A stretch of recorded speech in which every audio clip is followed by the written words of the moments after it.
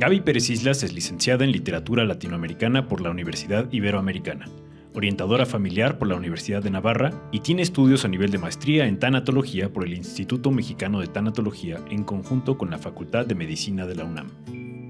Tiene una especialidad en logoterapia por la Casa Víctor Frank y una en codependencia, familia y espiritualidad por el Centro de Estudios Superiores Monte Fénix. Gaby también es parte del Consejo Médico de Fundación CIMA, diplomada en suicidología por el Instituto Hispanoamericano de Suicidología y diplomada en grafología por el Colegio Mexicano de Grafología. Asimismo, está certificada para dar terapia en Estados Unidos al ser Grief Educator por el experto en duelo David Kessler. También tiene una certificación como Dula de Muerte por Dula Givers de Susan O'Brien.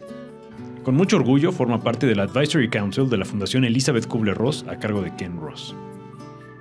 Gaby ejerce su práctica profesional con acompañamiento a enfermos terminales, consejería tanatológica a personas en proceso de duelo e imparte conferencias a nivel internacional.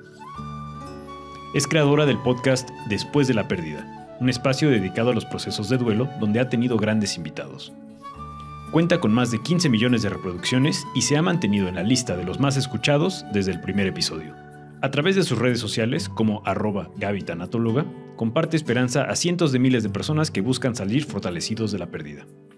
Colabora en diversos medios de comunicación, entre los que se encuentran Por el placer de vivir con el Dr. César Lozano, La Mujer Actual en Grupo Fórmula con Janet Arceo, Qué Chulada de Grupo Imagen, Hoy y Cuéntamelo Ya de Televisa, Metas Divinas y Monse y Joe para Unicable, entre otros. Gaby es autora de siete libros. Cómo curar un corazón roto, Elige no tener miedo, Viajar por la vida, La niña a la que se le vino el mundo encima, Convénceme de vivir, Tu camino para sanar y su más reciente libro, La muerte del amor. Todos ellos están editados bajo el sello Diana del grupo editorial Planeta. Los dejo en excelentes manos. Los dejo con Gaby Pérez Islas.